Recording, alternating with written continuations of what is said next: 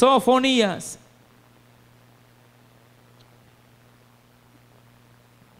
Lo tenemos.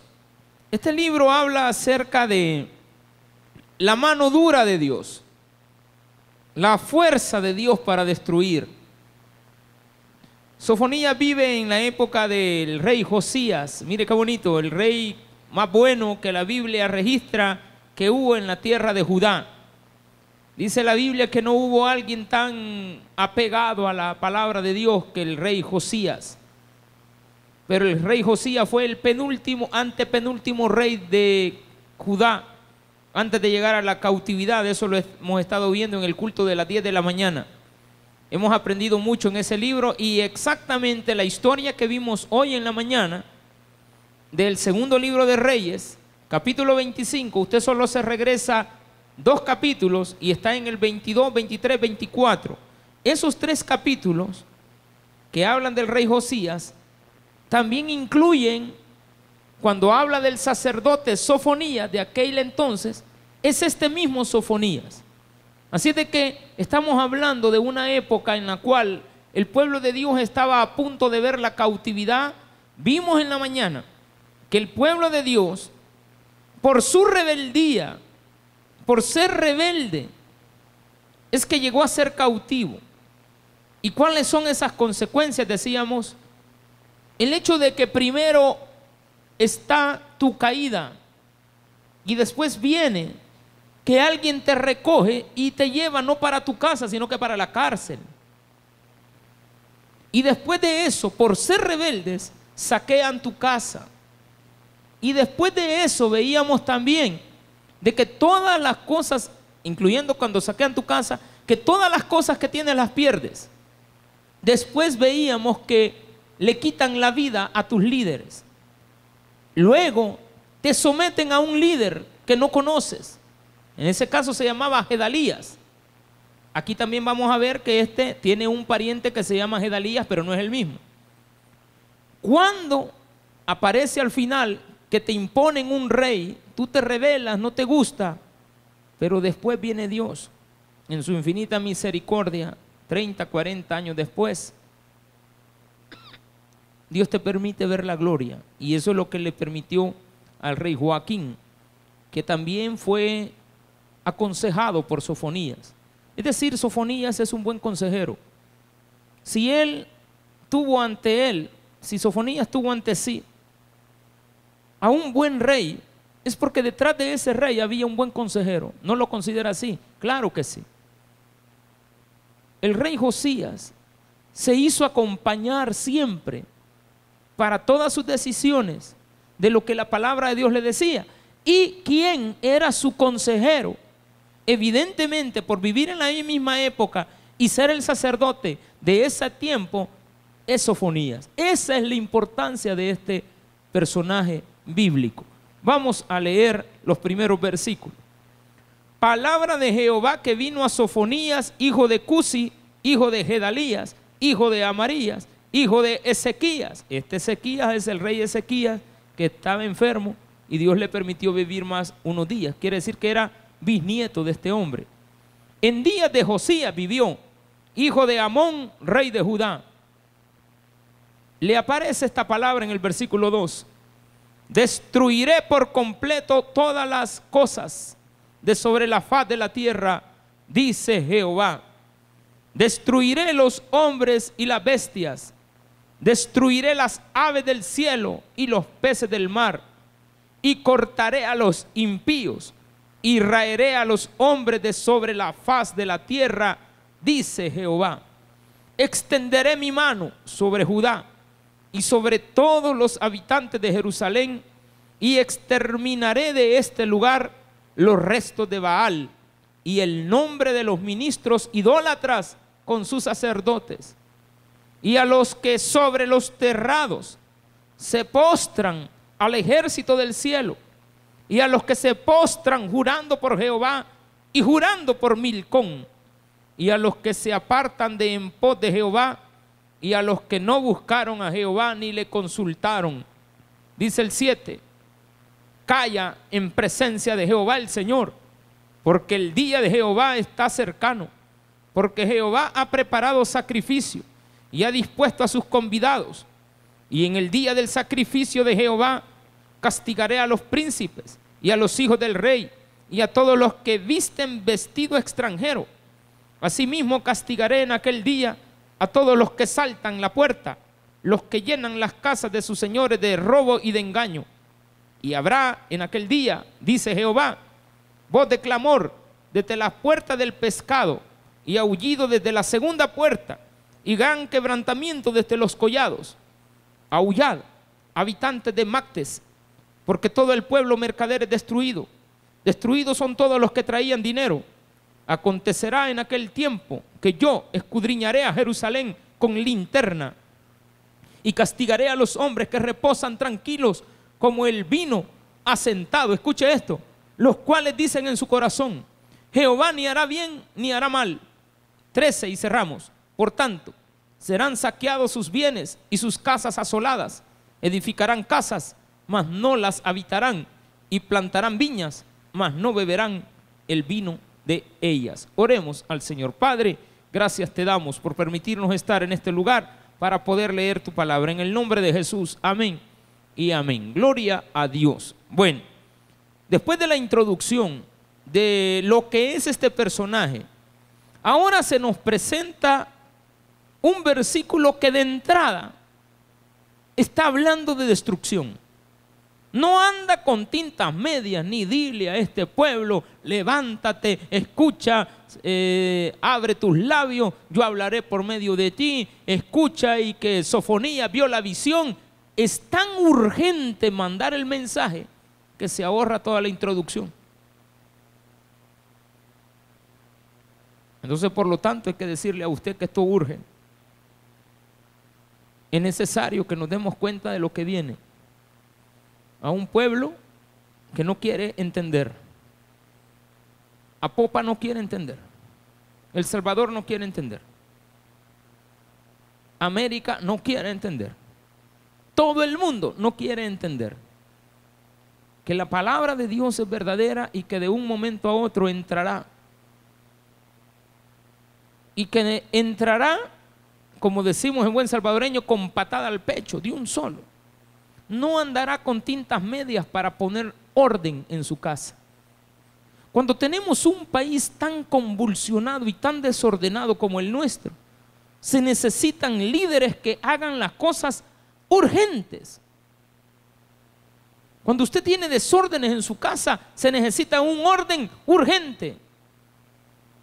Cuando tenemos problemas en nuestra sociedad, se necesitan urgentemente poner en práctica acciones directas para corregir lo que no está bueno.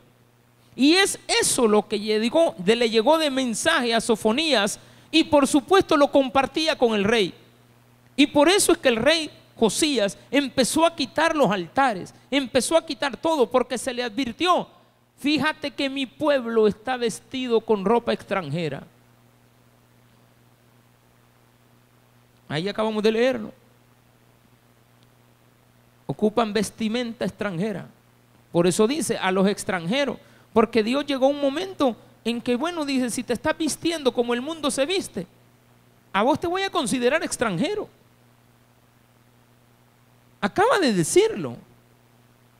Yo les dije cómo se vistieran. Está hablando de los sacerdotes. Pero no es nada inapropiado aplicarlo a la forma de vestir de los hijos de Dios actualmente. No podemos ir a ganar almas con minifalda, ¿verdad?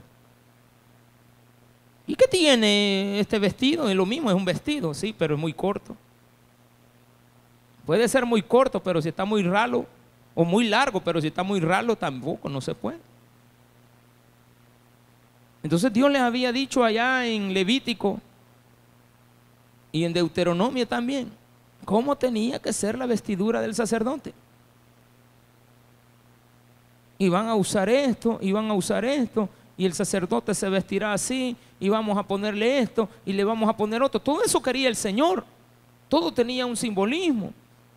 Ibas a poner estas piedras, una de cada estilo, y lo vas a poner en el pectoral, y eso me recordará de que ahí están mis doce tribus y vas a ocupar esto y vas a ocupar lo otro y vas a ocupar estos cordeles y vas a ocupar este cinto y te vas a poner un talit y vas a poner una filacteria en la mano y vas a ponerte también en la cabeza un pectoral y vas a empezar a hacer eh, eh, en el, en el pecho un pectoral y vas a ponerte también en la cabeza un talit.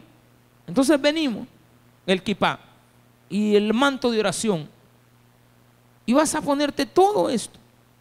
Pero de repente los sacerdotes empezaron a verse como que eran egipcios, como que eran babilonios.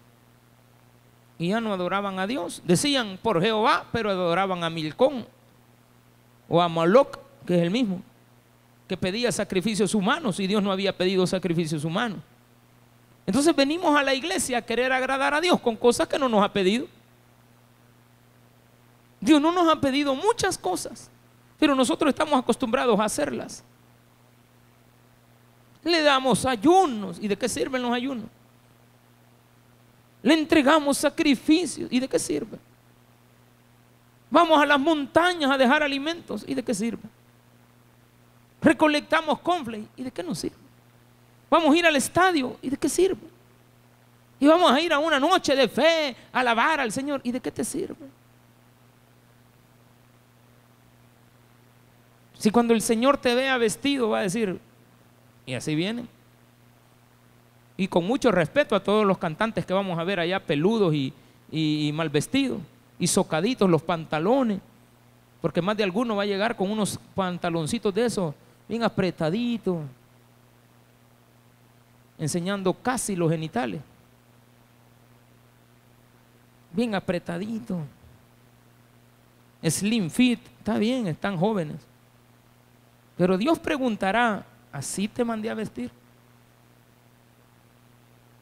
¿Y para qué le van a poner humo? Pero va a haber humo, no se preocupe.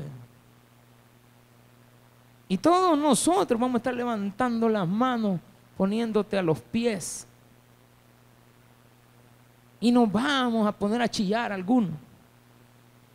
Pero cuando no te estén dando la Biblia después de la chillada y estés haciendo cola, vas a estar reclamando y vas a estar protestando. En el mismo día. Y dos horas después,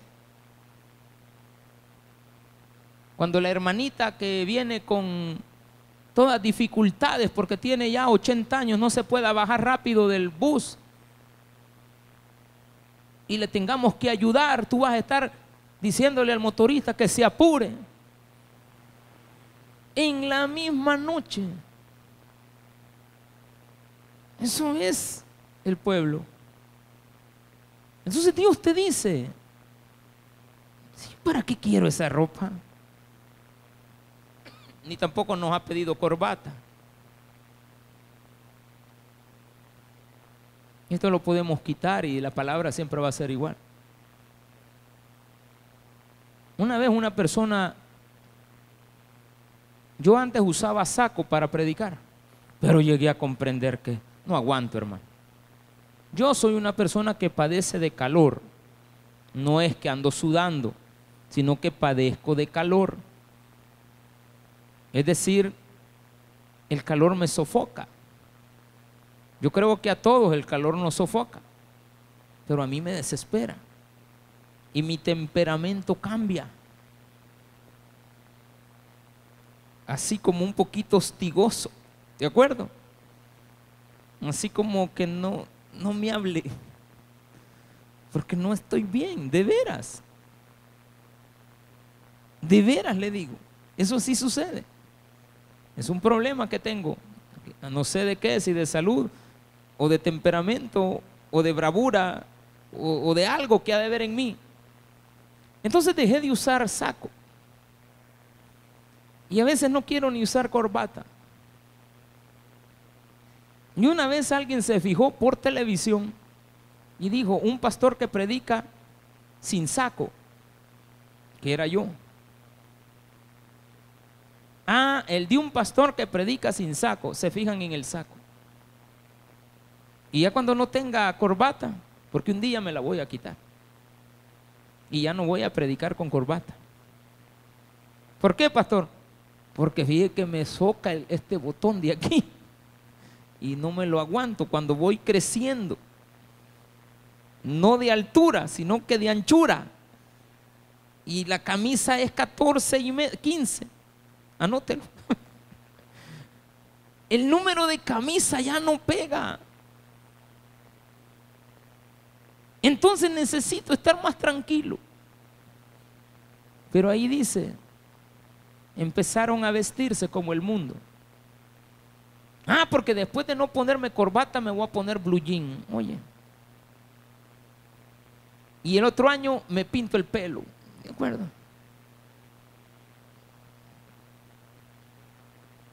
¿Y qué tal si me dejo crecer la barba?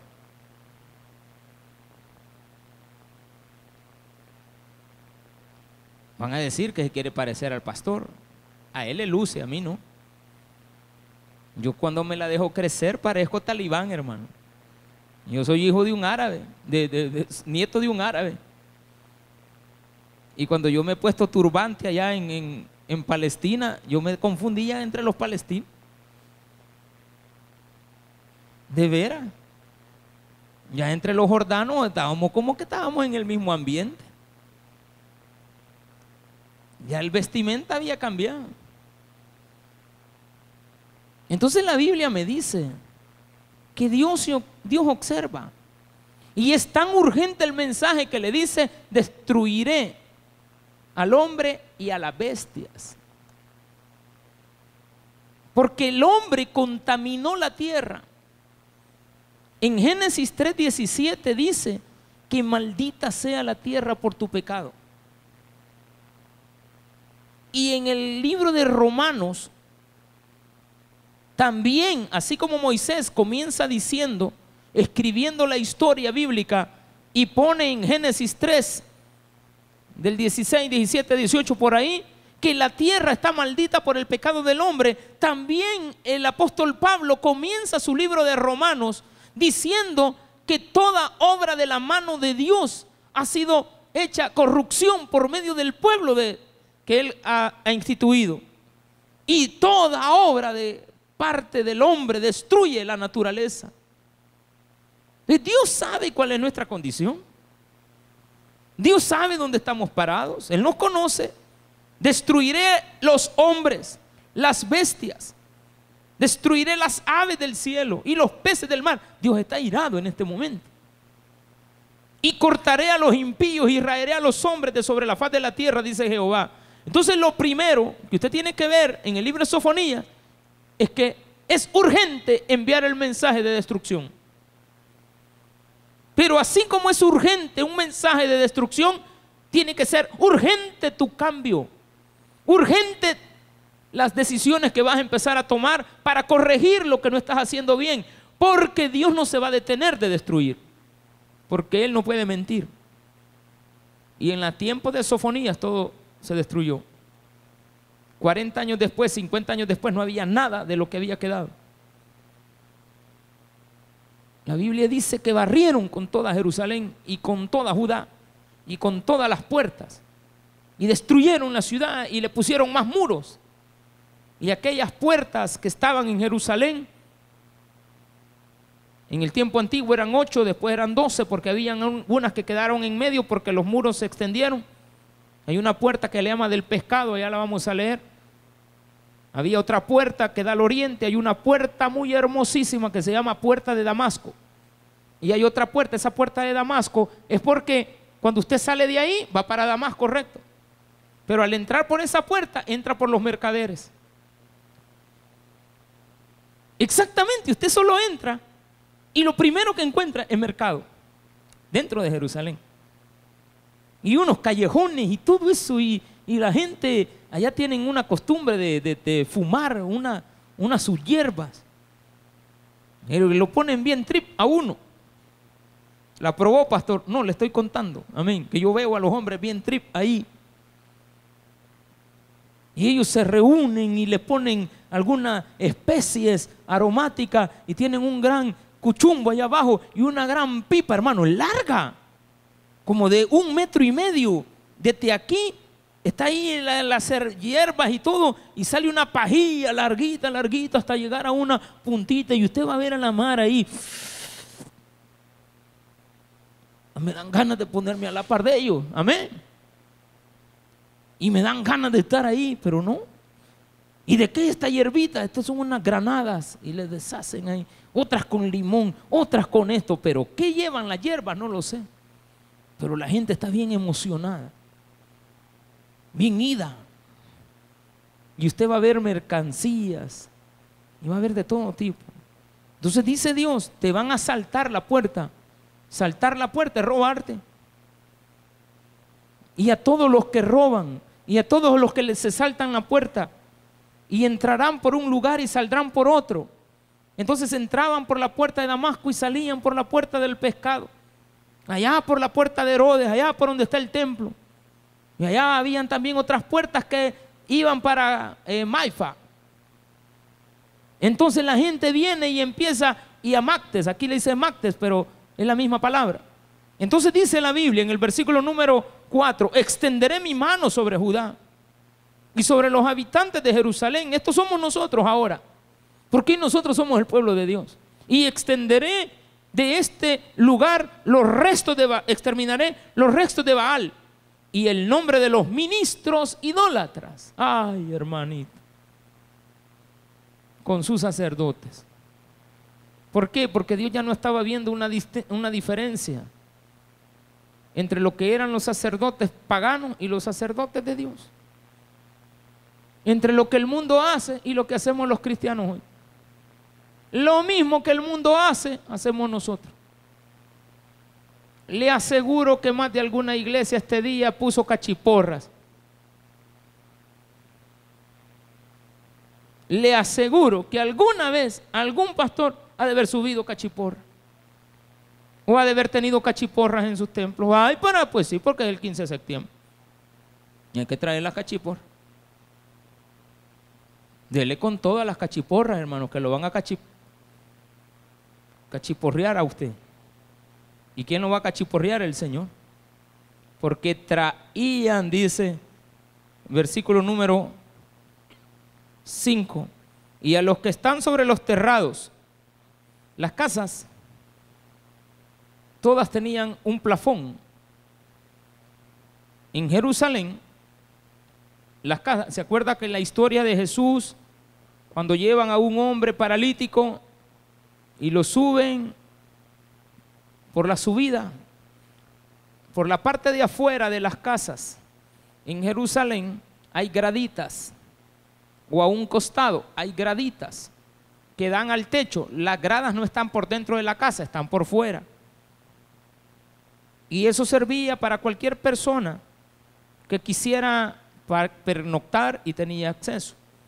Para los animales también servía. Usted tenía las cabritas, las subía al techo. O sea que las, casas tenían una buena porción de, de techo, de plafón, para que la gente pudiera accesar a la parte superior. Pero la gente ya no accesaba simplemente por accesar. Empezaban a ver las estrellas y empezaban a adorar las estrellas. Entonces dice, a los que suben a los terrados, pero ya no para cuidar sus animales, ya no para meterle paja al, al- al techo y que se ponga más fresco. No, suben. Así como cuando nosotros nos escondemos en un baño. Así como cuando nosotros estamos en el empleo y nos están pagando ocho horas y usted se pierde media hora en el baño. ¿Qué está haciendo media hora orinando? Mentira, usted está hablando por teléfono. Mentira, usted está chateando. Mentira, usted está fumando marihuana. Entonces la Biblia dice, y a los que sobre los terrados se postran al ejército del cielo. Sobre los terrados se postran al ejército del cielo, adorando la luna, adorando las estrellas, porque las estrellas adivinan. Porque las siete cabritas son la osa menor. Entonces hay una osa menor y hay una osa mayor.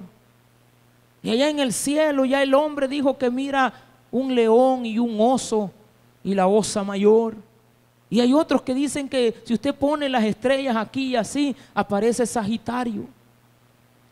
Y que usted le pone esta estrella con esta otra y esta otra aquí y esta otra, otra, otra aquí, así ve, e-, ese es cáncer.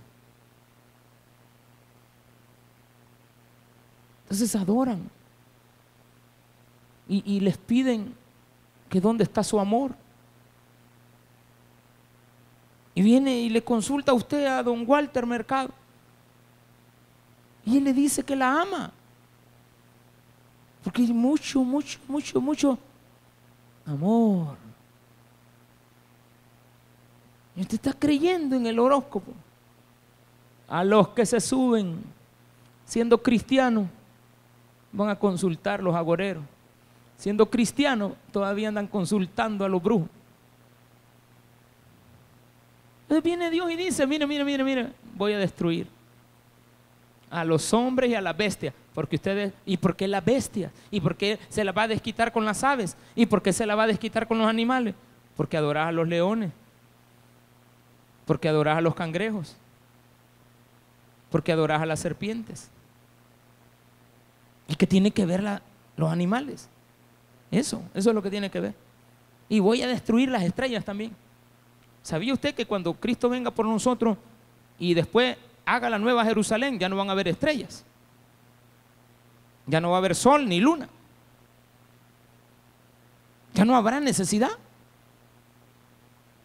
Ya no van a ver eso porque capaz en el cielo empieza otra revuelta igual a la que hizo Satanás.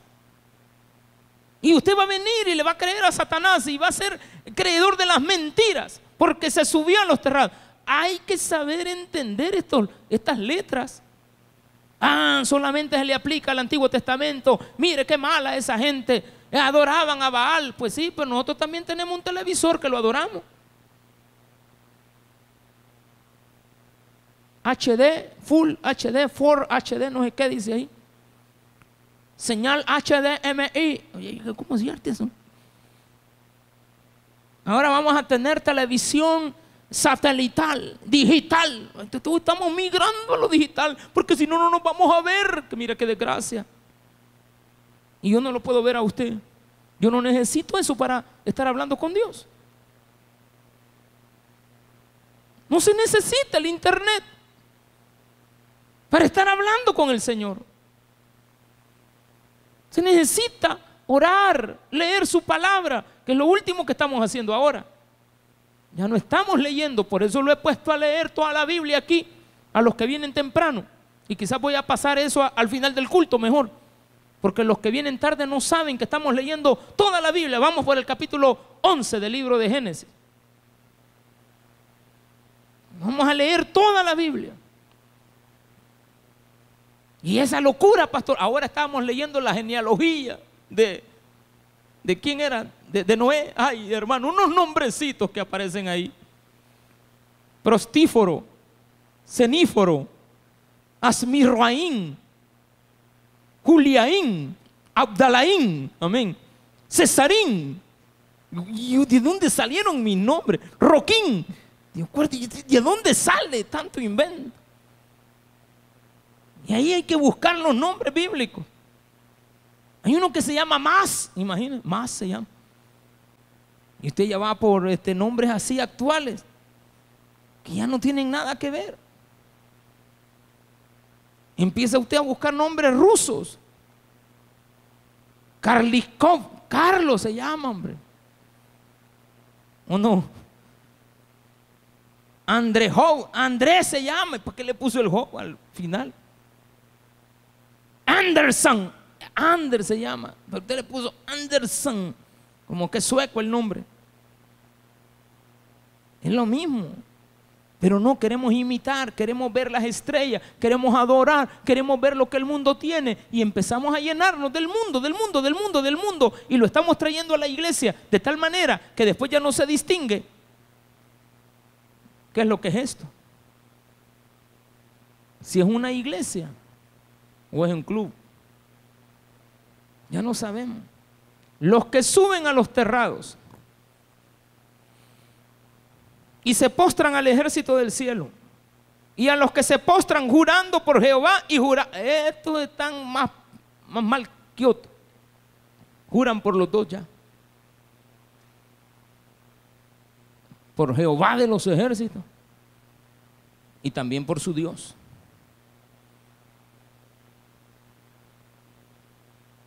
A Jehová orando y con el mazo dando. Mira, qué bonito.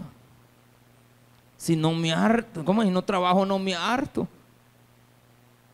Mire qué bonitos versículos que te ha aprendido. Mire qué bueno. A Jehová lo está mezclando con todo lo demás. Le pide a Dios, pero dice que usted va a hacer. Le pide, usted le pide justicia a Dios, pero usted se quiere, va a comprar el arma y se acaba el marido. Cuidadito. Le pido a Dios y le pido al mundo y a mi Dios también. Y a los que se apartan en voz de, en pos de Jehová y a los que no buscaron a Jehová ni le consultaron, no le da ni le viene venir a la iglesia o dejar de oír o dejar de ir. Les da igual, como cuando dejan de venir no pasa nada. Ese es el problema más grande que le pasa al ser humano cristiano, que dejó de venir, no me pasó nada, fíjate. Fíjate que esta semana no fui a la iglesia, pero tranquilo. Es que como fui a trabajar, ah, ya van dos semanas. Si usted solo viene una vez por domingo y un domingo trabaja, va a venir a los 15 días, a los 15 días usted va a venir reclamando. Porque usted ya no, ya no está lleno. Porque usted estuvo enfermo, digamos que estuvo enfermo. No me diga que estuvo viendo televisión toda la semana.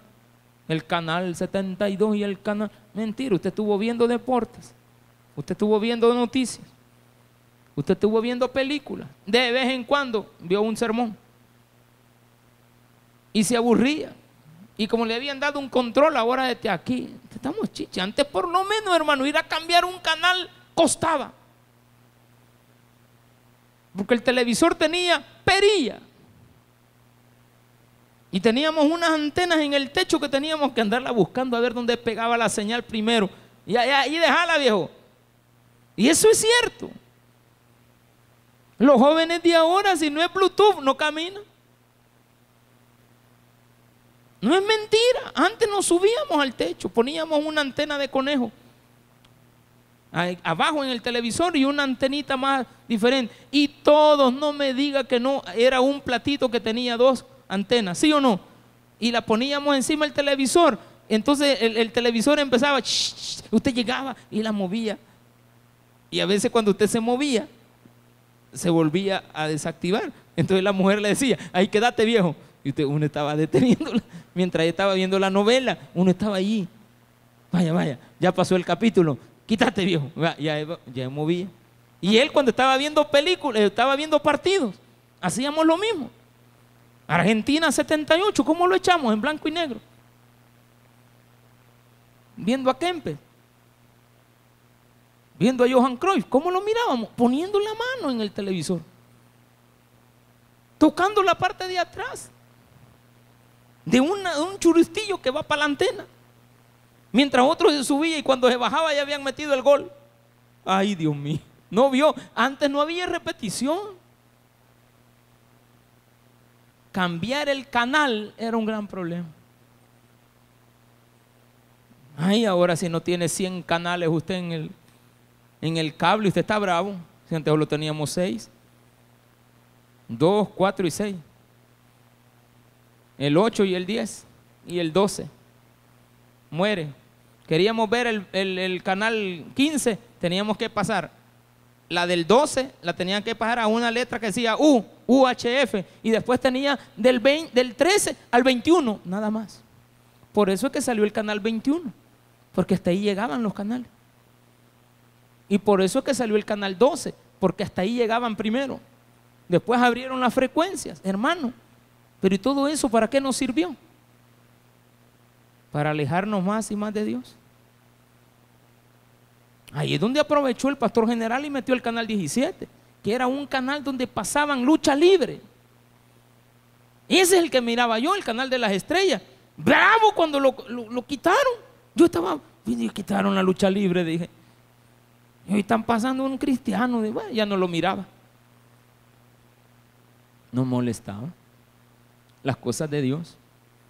Y al final dice la Biblia, mire esto, esto es importante. Y el día del sacrificio de Jehová, castigaré a los príncipes. ¿Y por qué el día del sacrificio de Jehová? Porque el mismo día del sacrificio de Jehová ese mismo día la gente ya no se estaba vistiendo como sacerdote de la casa de Dios. Y a los hijos del rey y a todos los que visten vestido extranjero, asimismo castigaré en aquel día a todos los que saltan la puerta, los que llenan las casas de sus señores de robo y de engaño. Te vistes diferente. Eso ya lo expliqué al inicio. Y habrá en aquel día Dice Jehová, voz de clamor desde la puerta del pescado y aullido desde la segunda puerta y gran quebrantamiento desde los collados, aullada habitantes de Mactés. Porque todo el pueblo mercader es destruido. Destruidos son todos los que traían dinero. ¿Cuánto valías? ¿Cuánto, ¿Cuánto costaba tu trabajo? Ahora Dios no te quita el trabajo, te quita el que te alimenta del trabajo. Quiere decir que los empresarios fuera. ¿Cuánta gente dejará de venir los domingos cuando abran la plaza Mundo Norte a Popa? Lo estaba diciéndote hace días. Yo voy a estar muy contento cuando usted tenga trabajo, pero muy decepcionado ya no verle. Porque usted va a trabajar arduamente. Está bien, trabaje arduamente trabaje, no hay ningún problema, pero no deje de venir a la casa de Dios. Porque allá en el trabajo se va a enamorar. Cuando usted trabaje haciendo hamburguesitas, se va a enamorar de la que trabaja recogiendo los platos.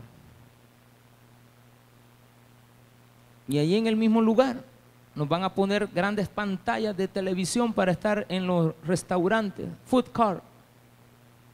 Food, food cart. ¿Dónde está? En el food cart. ¿De dónde? De Apopa. Oh, de. ¿Y qué estás viendo? Aquí en el frente del Cinépolis. Y, o del Cinemark, no sé cuál van a poner dependiendo quién es el dueño. Creo que va a ser Cinépolis, por el dueño, porque es el mismo dueño de todo. Entonces los mercaderes van a ser quitados para que no haya empleo. Porque ahí dice, porque todo el pueblo mercader es destruido, destruidos son todos los que traían dinero. Aunque usted no lo crea, pero esto sucederá. Apocalipsis capítulo 11 lo aclara, que los mercaderes desaparecerán en un solo día. Acontecerá en aquel tiempo Está hablando de dos tiempos. El tiempo cercano a Jerusalén para ser destruido y el tiempo futuro de la batalla de Armagedón. Escudriñaré a Jerusalén con linterna y castigaré a los hombres que reposan tranquilos. Mire esto. Como el vino asentado. ¿Cómo están los hombres? Como el vino asentado que ya no se mueve. Los cuales dicen en su corazón, Jehová ni hará bien ni mal. Eso quiere decir, no sirve para nada.